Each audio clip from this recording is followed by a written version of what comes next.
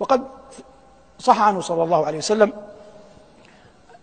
أنه شهد جنازة رجل من الأنصار والقبر لم يحفر بعد.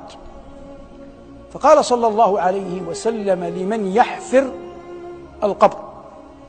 وهذا من أعظم الأحاديث في نفسي أثرا جعله الله كذلك في نفسك. فقال صلى الله عليه وسلم لمن يحفر القبر. وسع منها هنا من من من رأسه. وسع منها هنا من رجليه. لربما له عذق في قبره من الجنة. فالنبي صلى الله عليه وسلم يأمر من يحفر القبر.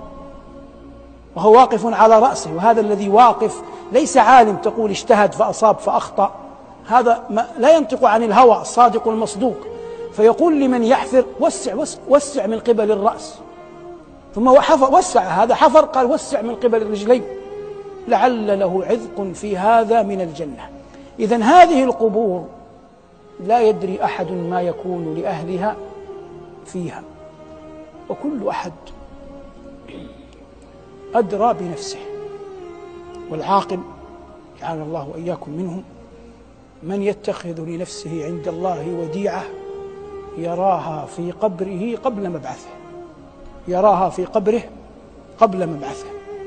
قد دلت السنة إجمالا على أن ثلاث في هذا تنفع.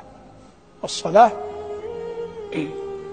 والقرآن والصدقة.